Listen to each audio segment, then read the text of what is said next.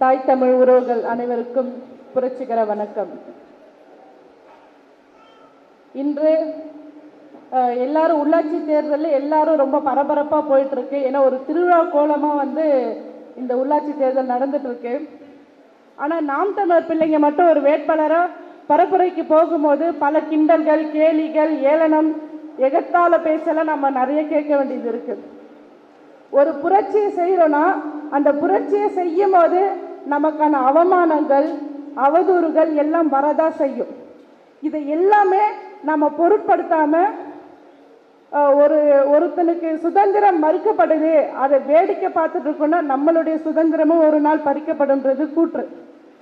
அதனால இந்த இந்த நிலையை மாற்றணும் அப்படின்ற ஒரு நிலையில தான் புரட்சியாளராக தான் வந்து இங்கே எல்லாருமே நின்றுட்டு இருக்கோம்.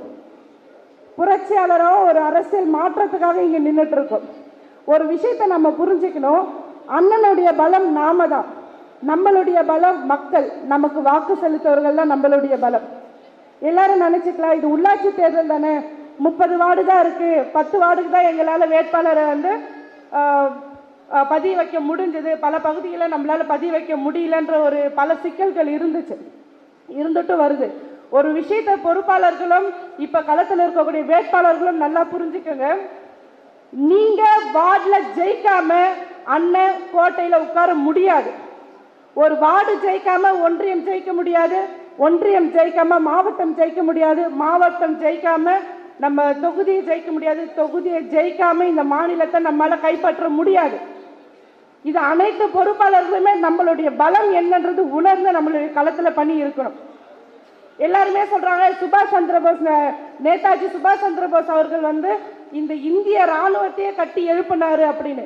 அதற்கு அஸ்திவாரமா இருந்தவர்கள் தமிழர்கள். இந்தியால வட மாநிலத்தவரால் ஒண்ணுமே பண்ண முடியல. காந்திஜி சொன்ன மாதிரி அகிம்சை அகிம்சைன்னு தான் ஒரு பக்கம் ஓடிட்டு இருந்தாங்க. ஆனா அகிம்சையால் நம்மளுக்கு சுதந்திரம் கிடைக்காது. ஆயுதம் ஏந்தி போராடணும்னு சொன்னவர் நேதாஜி சுபாஷ் சந்திர போஸ். ஆனா இந்தியர்கள் அவருக்கு சப்போர்ட் பண்ணல. இந்தியர்கள் அவருக்கு ஒரு துளி அளவும் ஒத்துழைப்பு கொடுக்கல. இந்த இன்று இந்திய ஒன்றியம் ஒத்துழைப்பு கொடுக்காததால மலேசியாவிலும் பர்மாலையும் வாழ்ந்த தமிழர்களை வச்சுதான் இந்த இந்திய ஆர்மியை வந்து நேதாஜி அவர்கள் உருவாக்குனார். நம்மளுடைய பலம் நாம நம்ம தமிழர்கள். இந்த இன்று இந்திய ஒன்றியத்துக்கே பெருமை சேர்க்கக்கூடியவர்கள் நம்ம தமிழர்கள் தான். இவர்களுடைய பலத்தை நாம தட்டி ஒரு ஒரு என்ன சொல்றது ஒரு சின்ன விளக்கு ஏத்தனா அதுக்கு அந்த திரியை தூண்டி விடுறதுக்கு ஒரு தூண்டுகோலா நாம நாம் தமிழர் பிள்ளைங்க இங்கே இருக்கோம். உறுதியாக களத்தில் நில்லுங்க. ஒரு சின்ன கதை சொல்லி நான் இங்கே முடிச்சுக்கிறேன். மாவீரன் நெப்போலியன் தெரியாதவங்க யாருமே கிடையாது. மாவீரன் நெப்போலியன் எல்லாருக்குமே தெரியும். அவர் என்ன பண்ணாராம் தன்னுடைய தளபதிகளுக்கு விருந்து வச்சாராம். அந்த விருந்தில் சொன்ன நேரத்துக்கு விருந்து தொடங்கியாச்சு. ஆனால் அங்கே யாருமே வரலை. படை தளபதிகளோ அங்கே போர் வீரர்களோ யாருமே வரலை. ஆனால் அந்த சொன்ன நேரத்துக்கு நெப்போலியன் உணவு உணவு அருந்த ஆரம்பிச்சிட்டாரு. நேரம் கடந்துட்டே இருக்கு. ஒவ்வொரு படை வீரர்களும் படை தளபதிகளும் வந்துட்டே இருக்காங்க. ஆனா அவங்க வர்றதுக்கும் விருந்துக்கான நேரமும் நிறைவடையல. அப்ப என்ன சொல்றாருன்னா விருந்துக்கான நேரம் முடிஞ்சிருச்சு வாங்க போர்க்களம் போலாம் அப்படின்னு சொன்னாராம். அப்படிதான் அண்ணன் நமக்கு விருந்து வச்சுட்டே இருக்காரு. போர்க்களத்துக்கான நேரமும் நமக்கு நெருங்கிட்டு இருக்கு. உறவுகள் அது அந்த விஷயத்தை நல்லா கவனிங்க.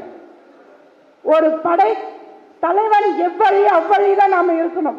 ஏன்னா விருந்துல காலம் வந்து உயிர் போன்றதுன்னு அண்ணா அடிக்கடி சொல்வார்.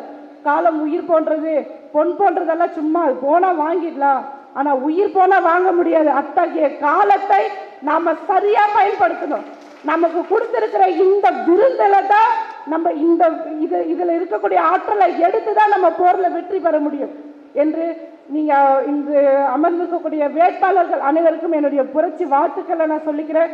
உறுதியோட களத்தில் நில்லுங்க. அண்ணனும் துணை இருக்காரு களப்போராளிகளும் எல்லாரும் உங்களுக்கு உறுதுணையாக இருக்கும். நன்றி வாழ்த்துக்கள். நாம் தமிழர்.